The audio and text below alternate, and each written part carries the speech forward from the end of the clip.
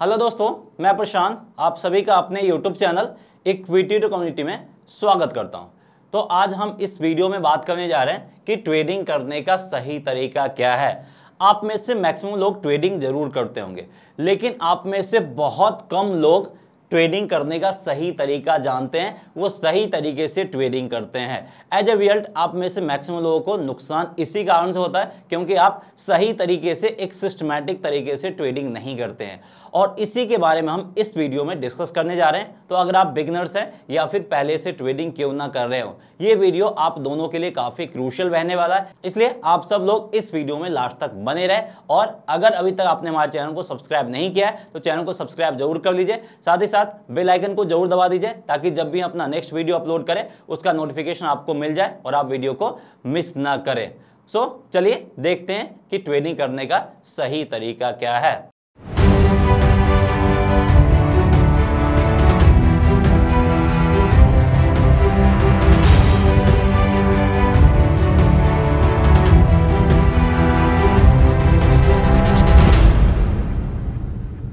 तो यहाँ पे हम चार्ट पे आ गए हैं।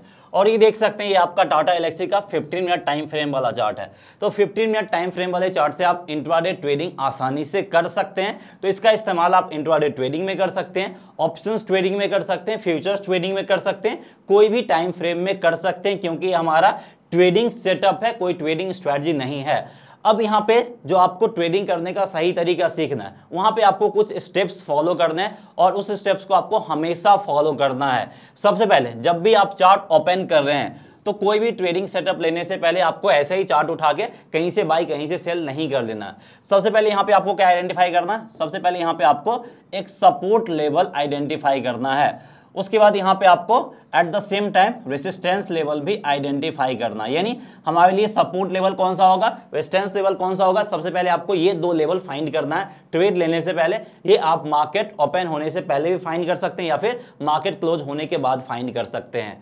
दूसरा पॉइंट जो सारे लोग इग्नोर कर देते हैं, वो है आपका रिस्क रिवॉर्ड रेशियो हमेशा आपको चेक करना है कि यहाँ पे रिस्क कितना और रिवॉर्ड कितना है। यानी हमारा टारगेट प्राइस कितना है और हमारा स्टॉप लॉस कितना है। वो दोनों हमारे फेवर में होना चाहिए, तभी हम ट्रेड लेंगे। अगर रिस्क रिवॉर्ड हमारे फेवर में नहीं है तो चाहे कोई भी कितना भी पावरफुल स्ट्रेटजी क्यों ना, कितना भी सटीक स्ट्रेटजी क्यों ना, उसको हम यहाँ पे अवॉइड करना प्रेफर करेंगे, उसके बेसिस पे हम ट्रेड नहीं लेंगे। तीसरा पॉइंट यहाँ पे आपको काफ़ी पेशेंस के साथ वेट करने की ज़रूरत है। यानी आपको यहाँ पे काफ़ी पेशेंस रखना है। कभी भी जल्दबाजी नहीं करना, ना ही मार्केट में एंट्री लेने का, ना ही मार्केट से एग्जिट करने का।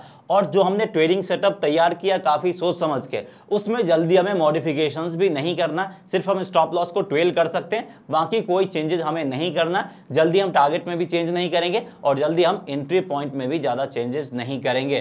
तो ये तीन पॉइंट को आपको फॉलो करना, इस तीन पॉइंट को फॉलो करते हुए आप सही तरीके से, एक सिस्टमैटिक तरीके से अपना ट्रेडिंग सेटअप तैयार कर सकते हैं। तो चलिए देखते हैं कि ये तीन स्टेप्स को फॉलो करते हुए कैसे हम सही तरीके से सिस्टमैटिक तरीके से ट्रेड इनिशिएट करेंगे।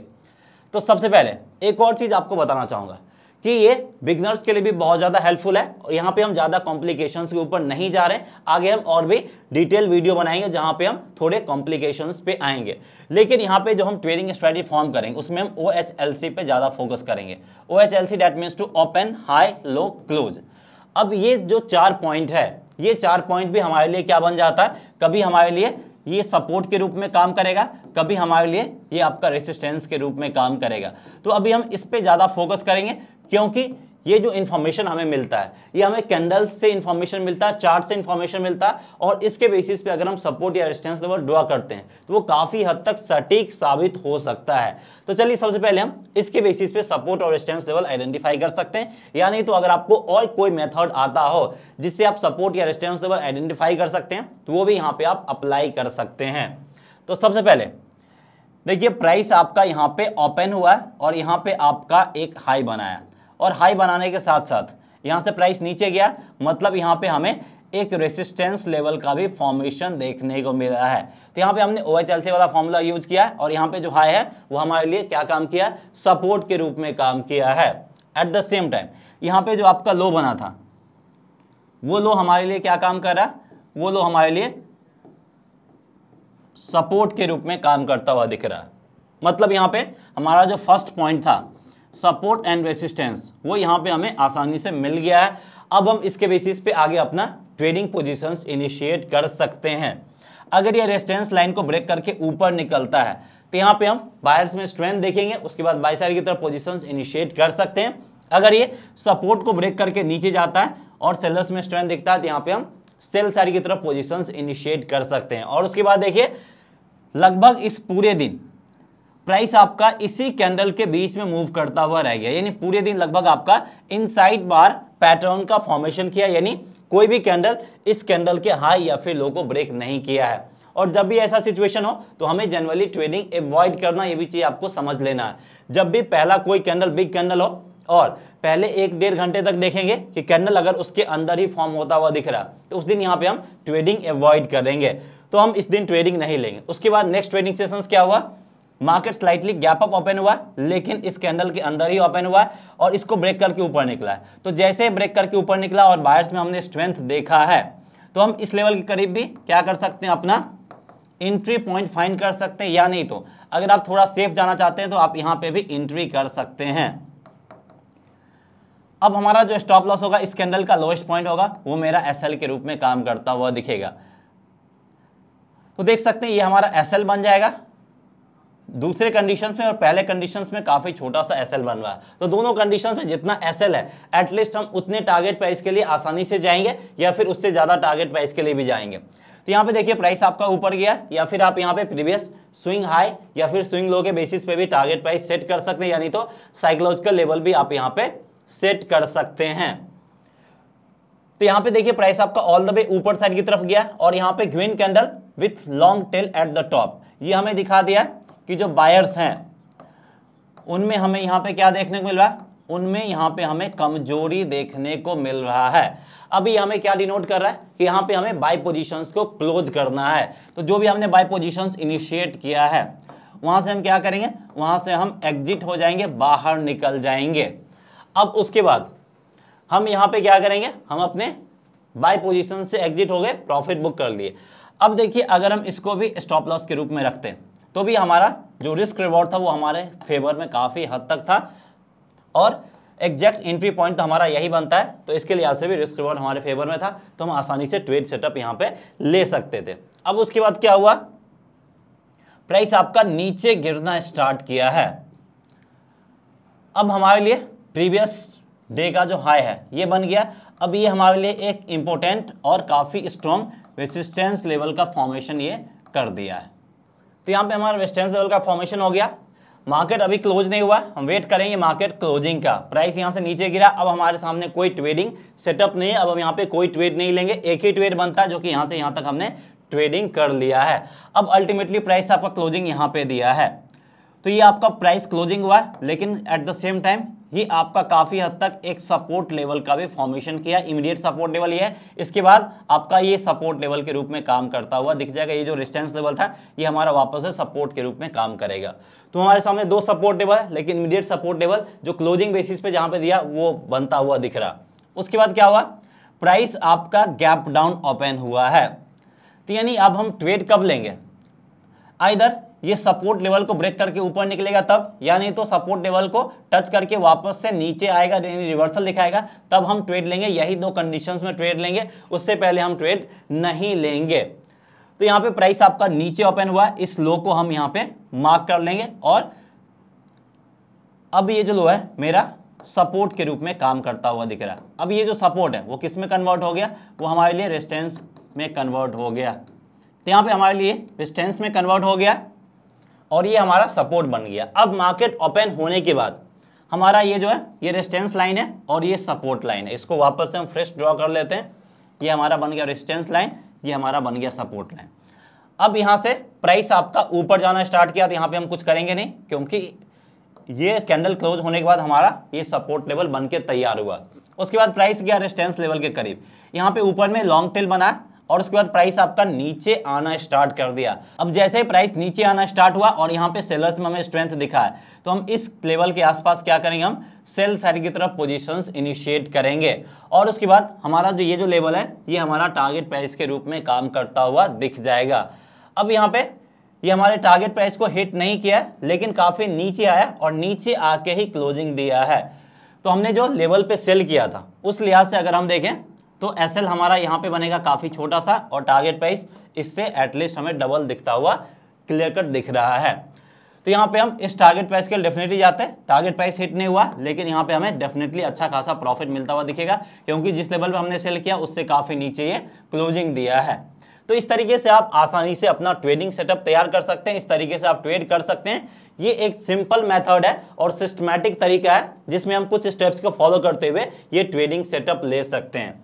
इसके बाद, ये लेवल अभी तक हमारे लिए रेजिस्टेंस के रूप में ही काम कर रहा है और ये जो लेवल है, ये अभी तक हमारे लिए सपोर्ट के रूप में ही काम करता हुआ दिख रहा फिर अगले दिन जो मार्केट ओपन हुआ है, इन्हीं दोनों के बीच में मार्केट ओपन हुआ यानी वापस से हमारा ये रेजिस्टेंस लेवल और सपोर्ट लेवल एक्टिवेट हो गया है। प्राइस आपका गैप ओपन हुआ है। इस लाइन को टच किया, इस रेजिस्टेंस लाइन को टच किया, लेकिन उसको ब्रेक नहीं कर पाया प्राइस नीचे गिरना स्टार्ट कर दिया। तो हम इस लेवल के आसपास वापस से सेल साइड की तरफ़ एंट्री लेंगे, ये जो पॉइंट होगा, ये मेरा एसएल के रूप में काम करता हुआ दिख जाएगा। वापस से ये जो सपोर्ट लेवल है, यही हमारा टारगेट प्राइस बनेगा। तो देख सकते हैं एसएल छोटा सा है और टारगेट प्राइस काफ़ी बिग है। यानी जो रिस्क रिवॉर्ड है आर जिसको हम शॉर्ट में बोल देते हैं, वो काफ़ी हद तक हमारे फेवर में ही दिख रहा है। यानी यहाँ पे भी हम नेक्स्ट डे इस ट्रेड से हम प्रॉफिट बना सकते हैं। तो इस तरीके से आप सपोर्ट रेजिस्टेंस लाइन को ड्रॉ करते हुए रिस्क रिवॉर्ड को देखते हुए और पेशेंस के साथ आप यहाँ पे ट्रेडिंग सेटअप तैयार कर सकते हैं। अब देखिए लास्ट ट्रेडिंग सेशंस क्लोजिंग आपका इसी के आसपास दिया है। अब उससे पहले यहाँ पे क्या फॉर्म किया एक रेंज बाउंड मूव हमें देखने को मिला है, जिसमें हाईएस्ट पॉइंट ये है और लोएस्ट पॉइंट ये है। और आपको एक और चीज़ ध्यान रखना है कि जब भी मार्केट में आपको रेंज बाउंड मूव देखने को मिले, उस टाइम पे हम ओपन हाई लो पे ज़्यादा फोकस नहीं करेंगे ओएचएलसी पे ज़्यादा फोकस नहीं करेंगे, उस पर्टिकुलर रेंज पे फोकस करेंगे क्योंकि वो हमें ज़्यादा अर्ली हिंट और इंडिकेशंस देगा, ज़्यादा अर्ली साइन देगा बाय और सेल करने का। तो यहाँ पे अच्छा खासा एक रेंज के बीच में मार्केट मूव करता हुआ दिखा, लगभग दो आवर से ज़्यादा इस रेंज के बीच में मूव किया है मार्केट तो इस रेंज के हाईएस्ट पॉइंट को हम मार्क कर लेंगे, जो कि आपका इमीडिएट रेजिस्टेंस लाइन बन जाएगा, और लो को मार्क कर लेंगे, जो कि आपका इमीडिएट सपोर्ट लेवल बन जाएगा। अब जैसे ही ये सपोर्ट ब्रेक होगा, सेल करेंगे और रेजिस्टेंस ब्रेक करके ऊपर निकलेगा तो यहाँ पे हम बाई साइड की तरफ़ जाना प्रेफर करेंगे। उसके बाद देखिए प्राइस क्या किया? सपोर्ट को ब्रेक करके नीचे आया, यहीं पे हम सेल साइड की तरफ़ पोजीशन इनिशिएट करेंगे ये पॉइंट मेरा एसएल के रूप में काम करता हुआ दिखेगा और प्रीवियस स्विंग लो को यहाँ पे हम टारगेट प्राइस के रूप में रख सकते हैं। प्राइस आपका नीचे गया अच्छा खासा नीचे दिखाया है और टारगेट प्राइस की भी अगर हम बात करें तो एटलीस्ट यहाँ पे हम 8700 तक के लेवल के लिए डेफिनेटली जा सकते हैं, जो कि इस लेवल करीब हो जाएगा। तो मेरा एसएल काफ़ी छोटा सा और टारगेट प्राइस काफ़ी बिग है। इस तरीके से यहाँ पे हम ट्रेड सेटअप लेके प्रॉफिट बना सकते हैं। तो यहाँ पे आपको एक और चीज़ बताना चाहूँगा कि अगर आपको टेक्निकल एनालिसिस अच्छे से सीखना है फ्रॉम बेसिक टू एडवांस और टेक्निकल एनालिसिस में सारा डिसीजंस आपको खुद से लेना किसी और पे डिपेंडेंट होने की ज़रूरत नहीं है। तो उसके लिए हमने एक कोर्स डिज़ाइन किया है। उसके लिए आपको हमारा मोबाइल ऐप इक्विटी कम्युनिटी को डाउनलोड करना होगा। तो आप हमारा मोबाइल ऐप डाउनलोड करके हमारे कोर्स को ज़रूर देखिए। अगर आपको कोर्स पसंद आता है तो आप हमारे कोर्स को इनरोल कर सकते हैं। हमने फ्यूचर ऑप्शन के ऊपर भी काफ़ी बेहतरीन कोर्स डिज़ाइन किया, जिसमें हमने बेसिक से लेकर एडवांस लेवल तक बात किया है, वो कोर्स देखने के बाद आप खुद से फ्यूचर्स ऑप्शंस में भी ट्रेडिंग डिसीज़न ले सकते हैं और स्टॉक मार्केट में भी बेसिक से लेकर एडवांस लेवल तक हमने कोर्स डिज़ाइन किया है। तो कोर्स को ज़रूर देखिए, जो भी पसंद आता है आप उसको इनरोल कर सकते हैं। कुछ डाउट या कंफ्यूजन होता है तो आप हमें कॉन्टैक्ट भी कर सकते हैं। तो चलिए यहाँ पर हम आगे बढ़ते हैं और आगे यहाँ पे हम देखते हैं कि ट्रेडिंग सेटअप हम कैसे तैयार करेंगे। अब उसके बाद यहाँ पे देखिए प्राइस आपका क्लोजिंग कहाँ पे दिया है? यहाँ पे क्लोजिंग दिया है। और ये क्लोजिंग आपका काफ़ी हद तक सपोर्ट के रूप में काम करता हुआ दिख जाएगा। अब हम देखेंगे कि अगले दिन प्राइस कहाँ पे ओपन हो रहा है। अगर प्राइस इसके ऊपर ओपन होता है तो सपोर्ट के रूप में काम करेगा। अगर इसके नीचे ओपन होता है तो यही सपोर्ट आपका किसमें कन्वर्ट हो जाएगा? वेस्टेंस के रूप में कन्वर्ट हो जाएगा। तो अभी हम पहले से प्री प्लान हो गए, कुछ नहीं डिसाइड कर सकते, ये आपका सपोर्ट और वेस्टेंस दोनों के रूप में काम करता हुआ दिख सकता। लेकिन जो ओपन हुआ, इसी करीब ओपन हुआ प्राइस फिर ऊपर निकल गया। जैसे ही ऊपर निकला, ये हमारा किसमें आ गया? ये हमारा सपोर्ट में आ गया। और जैसे ही इसके ऊपर निकला, यहाँ पे हम क्या करेंगे? यहाँ पे हम बाई साइड की तरफ़ पोजीशंस इनिशिएट करेंगे। और टारगेट प्राइस की अगर हम बात करें तो फ़र्स्ट टारगेट प्राइस को हम ये रखेंगे। सेकेंड टारगेट प्राइस इसका जो हाईएस्ट पॉइंट है, हम इसको रखना चाहेंगे। तो इस तरीके से ये दोनों टारगेट प्राइस हमारा आसानी से हिट कर देगा। तो इस तरीके से हम क्या करेंगे? सिर्फ़ हम यहाँ पे काफ़ी हद तक ओएचएलसी को यूज़ किया। और जब भी मार्केट आपका एक रेंज में मूव किया तो उस रेंज के हाई और लो को हमने मार्क किया तो बस आपको अभी यही चीज़ देखना है कि मार्केट जब भी आपका रेंज में मूव करे, उस रेंज के हाई और लो को मार्क कर दीजिए। हाई लो ब्रेक हुआ तो बाय और सेल साइड की तरफ़ जाएँगे और ओ एच के बेसिस पे सपोर्ट रेजिस्टेंस ड्रॉ करके हम नेक्स्ट डे इंटरडे ट्रेड अपना सेटअप तैयार कर सकते हैं। सो उम्मीद करते हैं ये कॉन्सेप्ट आपको समझ में आ गया होगा। इससे रिलेटेड कुछ भी डाउट या कंफ्यूजन है तो आप हमें कमेंट सेक्शन में पूछ सकते हैं, वहाँ पे आपको प्रॉपर आंसर किया जाएगा। सो डेट्स ऑल फ्रेंड्स मिलते हैं नेक्स्ट वीडियो में। जय हिंद।